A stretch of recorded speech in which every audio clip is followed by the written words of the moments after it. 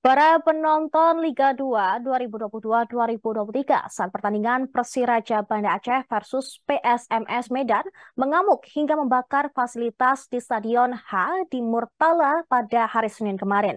Kemarahan penonton tersebut bermula saat laga Persiraja versus PSMS harus ditunda lantaran lampu utama yang menerangi lapangan padam jelang 5 menit sebelum kick-off. Para penonton memasuki lapangan dan melempari botol minum serta benda-benda lainnya ke stadion. Karpet yang berada di dalam tribun juga tak luput dari amukan massa. Tempat pemain cadangan atau bench juga ikut dirusak oleh penonton.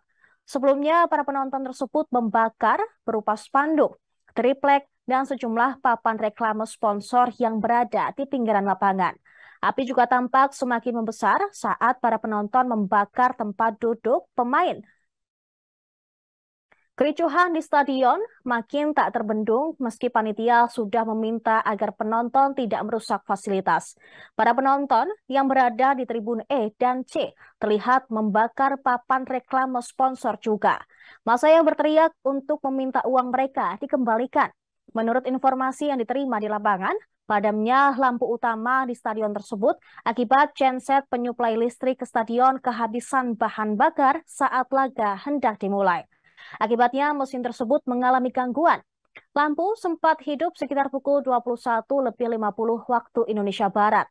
Namun kembali padam kurang dari satu menit.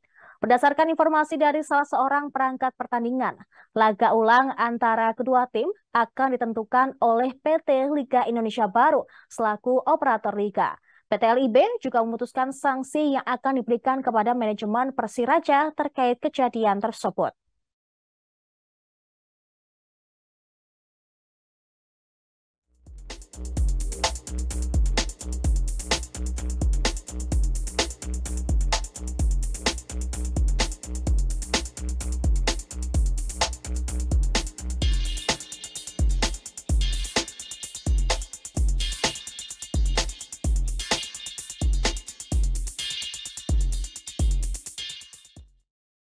Terima kasih sudah nonton.